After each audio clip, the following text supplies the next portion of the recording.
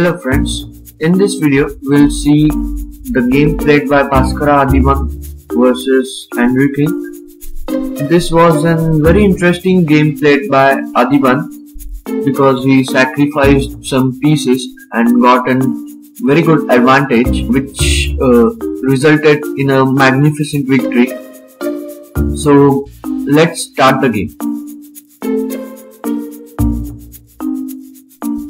In this game, Adhiban started with the move e4 and Andrew replied with the move e5, knight to c3, knight to c6, g3, g6, bishop g2, bishop g7, symmetrical structure, d3, d6, f4, trying to create an imbalance in the position. And black replies with the move knight ge7 knight f3 knight d4 centralizing the knight. Castle bishop g4 bishop e3 attacking the strong piece of black which is knight. Black replies with the move c5 again guarding the d4 knight and making the center quite strong. White plays the move queen d2 trying to plan something like exchanging the pawns and then bringing his bishop to h6 and exchanging the dark square bishop and creating some weakness in the king side of black. So here black replies with the move castle, knight h4, e cross f4, bishop cross f4, queen d7 and now white plays the move rook f2 trying to double the rook and try to attack with this file. So black replies with the move rook a e8 and here white plays the move bishop h6 bishop cross h6 queen cross h6 and here black plays the move b5 trying to create some counter on the queen side. Here white plays the move h3 first removing the bishop from g4 square.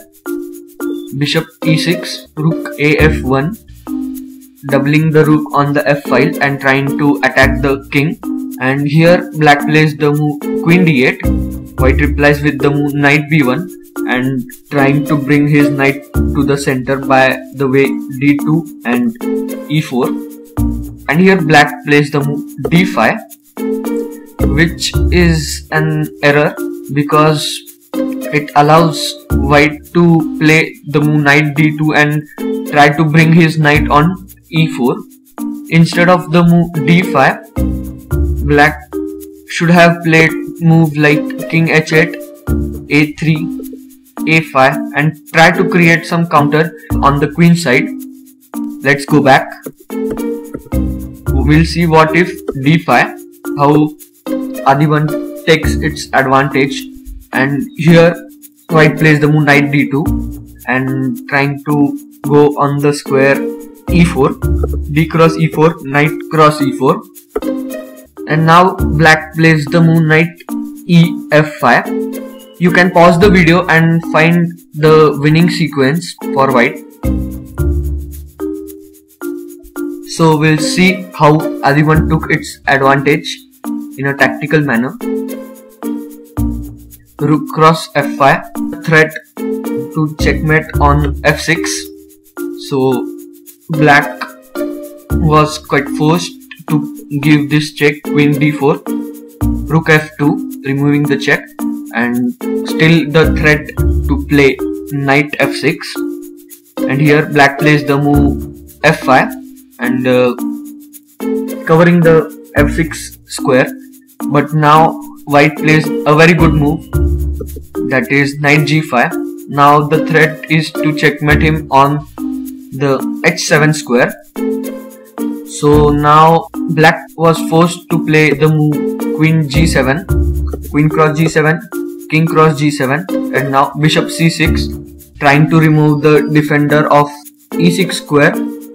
And here black replies with the move h6 knight cross e6 rook cross e6 and bishop cross b5 and now black played the move rook b8 a4 a6 bishop c4 attacking the e6 rook. Rook e1 check king g2 rook cross b2 bishop cross a6 rook c1 attacking the c2 pawn white plays the move bishop c4 and rook cross c2 rook cross c2 rook cross c2 and now king f3 and now this is a clear passer for white and we'll see how Adhiban converts this position to a victory king f6 a5 g5 a6 and here black cannot defend the pawn by the way rook c2 because this square is guarded by the bishop.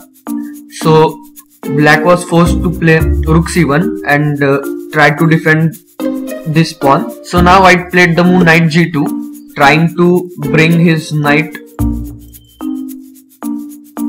to cover this a1 square here black plays king e5 knight e3 h5 knight c2 g4 check king e3 and now black plays the move g cross h3 a7 g cross h3 a7 h2 and a1 promoting to a queen h1 promoting to a queen and now queen b8 check king f6 queen f8 king g6 bishop f7 check and here black resigned this position because it's uh, checkmate in two moves.